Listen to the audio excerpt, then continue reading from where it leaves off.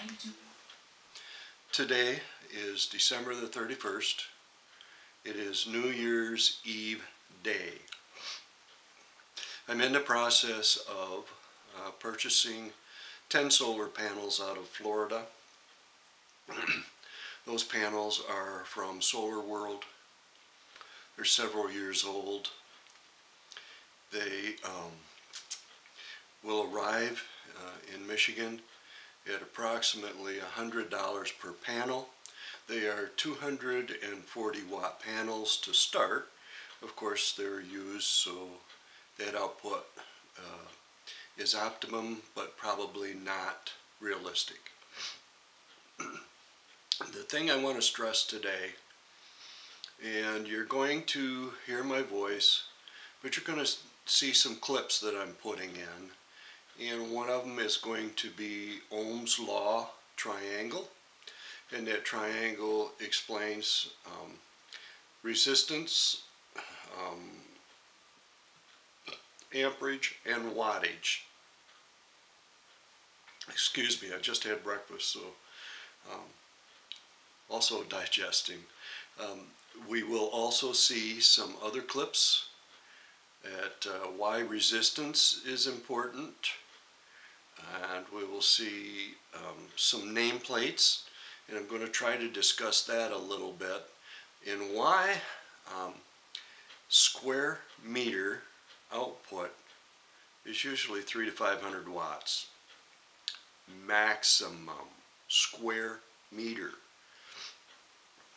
Most solar panels will have like one and a half square meters the maximum that they can put out is 3 to 500 watts. I'm going to keep repeating this over and over and over.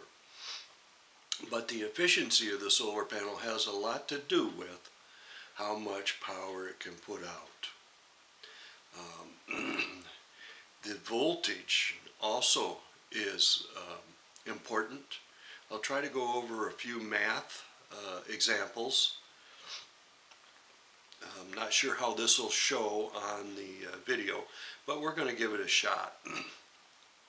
it's important to know the voltage output because a 12 volt 100 watt panel can cost you as much as a 30 volt 240 watt panel. Why is that important? You're basically buying power by the watt.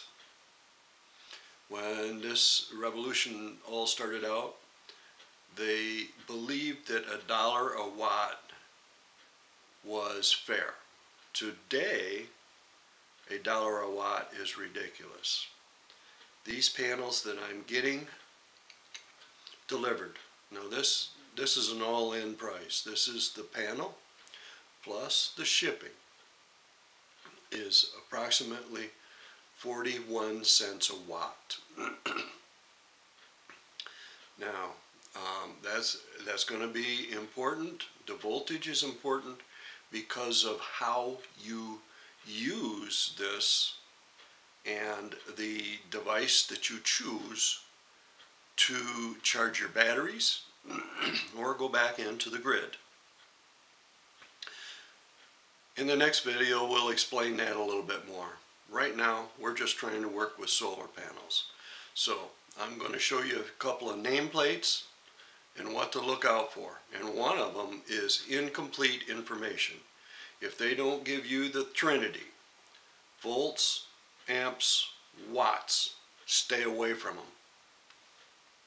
I see that there are 1000 watt flexible panels out there there is no way. If it's too good to be true, it's not true.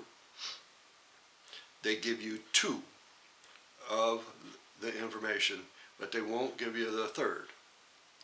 The 1000 watts, I think that's in a 10 hour period. So that's like 100 watts an hour or less. And that might be the theoretical max 100 watts per hour.